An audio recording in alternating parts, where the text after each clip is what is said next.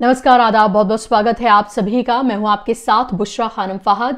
आप देख रहे हैं मेरा यूट्यूब चैनल अगर अभी तक भी आपने इसको सब्सक्राइब नहीं किया है तो प्लीज़ इसको सब्सक्राइब कर लें, ज़्यादा से ज़्यादा लोगों तक शेयर करें बेल आइकन पर हिट करें ताकि नया वीडियो आते ही आप तक नोटिफिकेशन पहुँच जाए आज जो खबर मैं आपके लिए लेकर आई हूँ, वो खबर एक खुशनुमा झोंके की तरह है। एक ऐसी खबर है जो आपके चेहरे पर मुस्कुराहट लाएगी। इस बदल चुके भारत में, इस न्यू इंडिया में, जहाँ 2014 के बाद दो मजहबों के खिलाफ लगातार नफरत फैलाने की, उन्हें बांटने की कोशिश की जा रही है, यहाँ तक कि इबादत करने की जगह जहाँ पर खुले में लोग नमाज़ पढ़ते हैं, वहाँ पर भी उसको लेकर भी किस तरह से नफरत फैलाई जा रही है। जी आप सही समझे, मैं यहाँ पर बात कर रही हूँ गुरुग्राम की।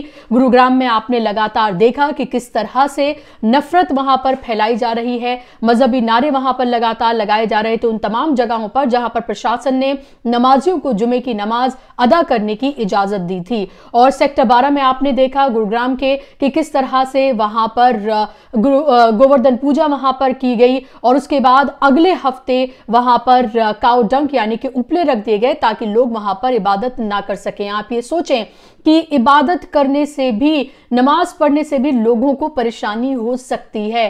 खुले में नमाज़ पढ़ने से लोगों को इतनी परेशानी है कि वो वहाँ पर जाकर काउ डंक रख देते हैं, वहाँ पर जाकर गोवर्धन पूजा करते हैं, मजहबी नारे वहाँ पर लगाते हैं, नफरती नारे वहाँ पर लगाते हैं, कपिल मिश्रा जैसे लीडर वहाँ पर पहुँचते हैं। वीएचपी बजरंग दल के लोग वहाँ पर पहुँचते हैं और एक मज़हब के खिलाफ नफरत वहाँ से परोसी जाती है। सिर्फ़ इसलिए क्योंकि पीसफुल तरीके से वो लोग नमाज़ अदा कर रहे थे, क्योंकि जुमे की नमाज़ बाजमात ही पढ़ी जाती है। और गुरुग्राम में बहुत सारी मसाजिद ऐसी हैं जो बंद पड़ी हुई हैं और बहुत कम ही मसाजिद वहाँ पर ऐसी हैं जहाँ जहाँ पर लोग नमाज़ पढ़ सकते हैं। ऐसे में खुले में नमाज़ पढ़ना उनकी मजबूरी है। और आपको ये भी पता है कि लोग दूसरे शहरों से आते हैं वहाँ पर काम करने के लिए, मजदूरी करने भी लोग जाते हैं आते जाते लोग जिन्हें वक्त मिला और वहाँ पर वो खुले में नमाज़ पढ़ लेते हैं, लेकिन कुछ नफरती लोगों को ये भी बर्दाश्त नहीं है। लेकिन कुछ मोहब्बत से भरे लोगों को, जिनको जो आइडिया ऑफ़ इंडिया में बिलीव करते हैं, जो सेकुलरिज्म में बिलीव करते हैं, जो इस इस देश के लोकतंत्र में बिलीव करते हैं, जो इस लोकतंत्र की, हमारे देश की गंगा जमनी तहजीब में यकीन रखते हैं, जो इस मुल्क की जो खूबसूरती है यूनिटी इन डाइवर्सिटी उसमें यकीन रखते हैं, वो लोग सामने आए हैं। और ये बेहद खुशगवार खबर है। बहुत दिनों बाद कुछ इस तरह की खबर सामने आई है और मुझे लगा आपके सामने खबर रखना बेहद ज़रूरी है।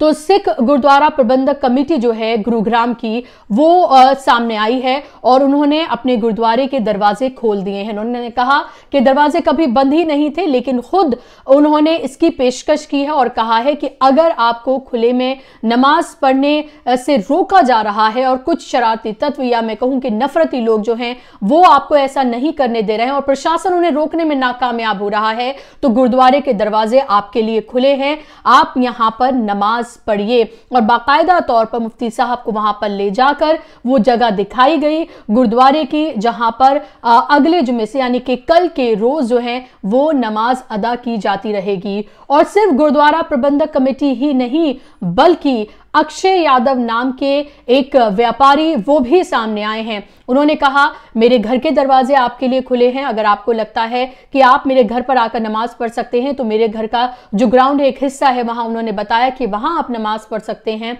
उसके अलावा उन्होंने अपनी दुकान जो है जो सौ गज की उनकी दुकान है, उसको, उसके दरवाजे उन्होंने खोल दिए, जो बंद थी, जहाँ पर वो उस तरह से काम नहीं करते थे कि आप यहाँ पर नमाज़ पढ़ सकते हैं। इसके अलावा उन्होंने कहा कि अगर फिर भी आपको लगता है जगह कम है तो उन्होंने कहा कि बराबर में मेरी वर्कशॉप है, आप वहाँ पर नमाज़ पढ़ सकते हैं। और उसके बाद से कई लोग, अक्षय यादव और गुरुद्वारा प्रबंधक कमेटी के बाद कई लोग जो हैं सामने आए हैं। उन्होंने ऑफ़र किया है कि लोग उनके घर पर या फिर वो जगह जहाँ वो देना चाहते हैं, वहाँ पर आकर नमाज़ पढ़ सकते हैं। तो आप ये देखें कि किस तरह से भाईचारे की मिसाल देखने के लिए मिली है, जहाँ गुरुद्वारे के दरवाजे खोले गए हैं नमाज़ पढ़ने के लिए, जहाँ एक हिंदू भाई अक्षय यादव ने अपने घर के दरवाजे, अपने दुकान, अपने वर्कशॉप जो है वो खोल दी है लोगों को नमाज़ पढ़ने के लिए और उसके बाद अलग अलग तरीके से लोग जो हैं वो सामने निकल कर आ रहे हैं। आप ये देखें, पत्रकार राहुल देव हैं, उनका ये कहना है कि मैं सेक्टर बारह से काफ़ी दूर रहता हूँ, लेकिन अगर किसी को नमाज़ पढ़ने में दिक्कत है तो मेरे घर के दरवाजे खुले हैं। नमाज़ अगर कोई पढ़ेगा, इबादत अगर कोई करेगा तो उससे मेरा घर पाक ही होगा। और इसके अलावा विनोद कापड़ी, पत्रकार जो है, उन्होंने भी लिखा है कि अगर गुरुग्राम में, अगर नोएडा में, वो नोएडा में रहते हैं, अगर नोएडा में किसी को इस तरह की कोई परेशानी है तो मेरे घर के दरवाजे भी खुले हैं और इससे मेरा घर भी पाक ही होगा। तो आप ये देखें कि कौन सा ऐसा आखिर मज़हब होगा, कौन सी ऐसी मज़हब गाहें होंगी दर्स गाहें होंगी, जहाँ पर अगर कोई इबादत करना चाहे तो उसे इबादत करने से रोका जाए। कौन सा ऐसा मज़हब है जो इबादत करने को इबादत कर रहा है? तो वहाँ पर खलल पहुँचाने, यहाँ पर, वहाँ पर उनकी शांति भंग करने या इबादत को उनकी रोकने के लिए इजाज़त देता हो? ये लोग जो हिंदुइज्म के नाम पर ये सब कुछ करते हैं, ये दरअसल एक मज़हब को बदनाम करने की लगातार कोशिश करते हैं, क्योंकि कोई मज़हब ये नहीं सिखाता है कि आपस में बैर की जाए। कोई मज़हब ये नहीं सिखाता है कि एक दूसरे की इबादत में खलल डाला जाए। कोई मज़हब ये नहीं सिखाता है कि दूसरे मज़हब के मानने वालों से नफरत की जाए, लेकिन 2014 के बाद से जिस तरह से लगातार हमारे उस भारत को जो आज़ादी के बाद हमें मिला, जहाँ पर हमने खुली फिजा में सांस ली, जहाँ पर यह सिखाया गया, हिंदू, मुस्लिम, सिख, ईसाई आपस में है भाई भाई उसको खत्म करने की, उसको तोड़ने की कोशिश की जा रही है। वो भारत जो पूरी दुनिया में इसलिए जाना जाता है क्योंकि यहाँ पर अलग अलग मज़हब के मानने वाले अलग अलग